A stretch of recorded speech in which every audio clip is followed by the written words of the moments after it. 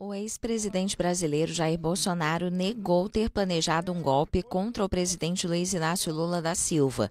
Ele chamou as acusações de absurdas. História de golpe. Ninguém vai dar golpe com o João da Reserva e mais meia dúzia de oficiais.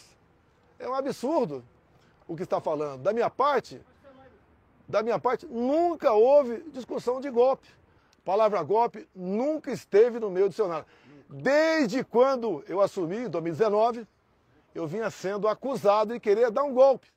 Na semana passada, a Polícia Federal indiciou Bolsonaro por tentativa de golpe de Estado para impedir a posse de Luiz Inácio Lula da Silva após sua vitória nas eleições de 2022. O ex-presidente faz parte de uma lista de 37 pessoas que, segundo a PF, devem ser processadas por crimes de abolição violenta do Estado Democrático de Direito, golpe de Estado e organização criminosa. A PF concluiu uma investigação que, durante quase dois anos, coletou provas sobre a existência de uma organização criminosa que agiu de forma coordenada em 2022 na tentativa de manter o então presidente da República no poder.